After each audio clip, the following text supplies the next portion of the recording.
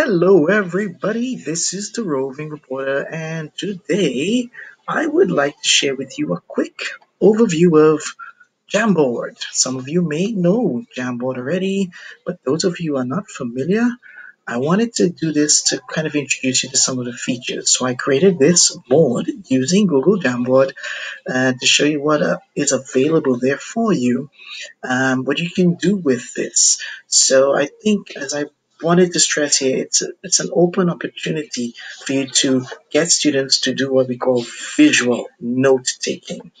And it gets them to look at everything from a totally visual perspective of course using text aligned with images with shapes and so on. So what i did i used some of the features which are available on the left here on the board already. So i used most of the shapes which are here right and you can click and edit these shapes. Okay. So I can change the shapes I have available. Circle half circle uh, squares. You can do rounded squares so on. And all of this is added here as I just wanted to demonstrate.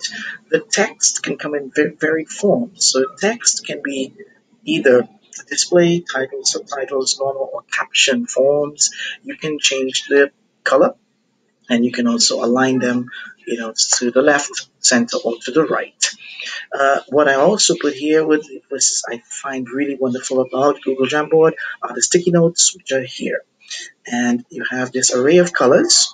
You can type in but I did this already to demonstrate to you what are some ideas you can do with these, these uh, sticky notes. So you can put students' ideas, you can work on affixes, prefixes, and suffixes, you can put sentences, you know, one parts of sentences together and then put that get them to join those sentences and do some matching. You can use these as prompts. You can work with color coding for them to identify certain elements in your lesson and so on and so on, right? So, and the final tool I think would be very, very important for us, of course, is this, which are the images, which when I go here, I can add on images from Google Image itself. I can upload my own image if I want to from Google Drive or from Google Photos. You decide, of course. So there you have it. I can even take my own camera and take a picture of myself and maybe upload to my Jamboard. So I wanted to share this quick demonstration with you of what Jamboard is. Um, you can use this with your students. I think it's very, very useful. And you get students to edit the Jamboard as well, which is great because as you go across here, like all of the Google Suite, I can um, make this editable and collaborative. So I can share with students, giving them the link, as it says here, anyone with the link can edit. So I can share this link or I can send it to them via email and they can come in and add their ideas before the lesson, after the lesson. It can be an ongoing process, which is wonderful. Also, you can add more frames. So this board, as you see, it's called a frame. So I can add more frames. Uh, I have up to 20 frames, which I can put. I can also change the background of my frame. I'm using the black typical classical default, but I have other formats like this, right? I have others we can change. I'm using an image in the backdrop so you can't see the change in the color.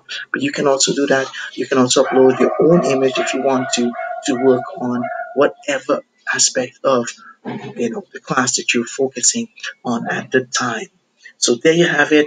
I hope you enjoyed this and I hope it was useful.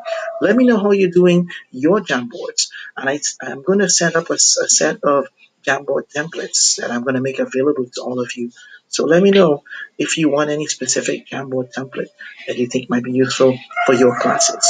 Thanks a lot. Bye bye.